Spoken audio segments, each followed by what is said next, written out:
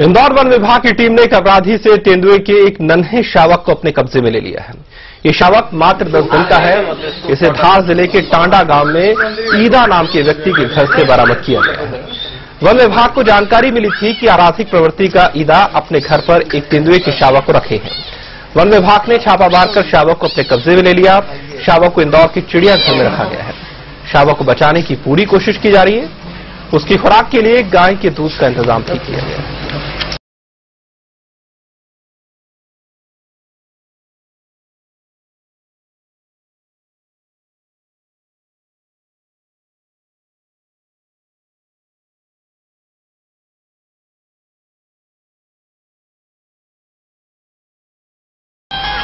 एक अपराधी प्रगति के आदमी द्वारा जंगल से तेंदुए के बच्चों को लाके अपने घर में रखा होता है। उसकी सूचना के अनुसार जिस जगह गए, उसमें तेंदुए के बच्चा हमें जो प्राप्त हुआ, वो एक बड़ी बेकार दयनीय स्थिति में था, जिसको लेकर हम लोग इंदौर पहुँचे।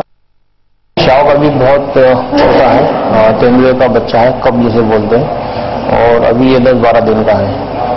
दस बारह दिन का बच्चा है तो उसे केयर करना बहुत थोड़ा सा हमारा, हमारे लिए चुनौतीपूर्ण काम है, क्योंकि इसको अभी मदर का मिल्क होना बहुत ज़रूरी है। अब क्योंकि मदर तो है नहीं उसकी, हम लोगों ने व्यवस्था की है।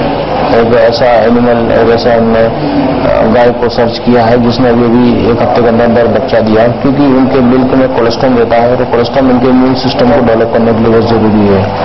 क्योंकि वो इम्यून सिस्टम भी इनके लिए आगे बीमारियों से लड़ने के लिए प्रतिरोधक क्षमता को डेवलप करता है। इसलिए हम उसकी एक गाय की व्यवस्था करी है। उसी का मिल्क हम लोग एक हफ़्ते तक अभी उसको पिलाएँगे।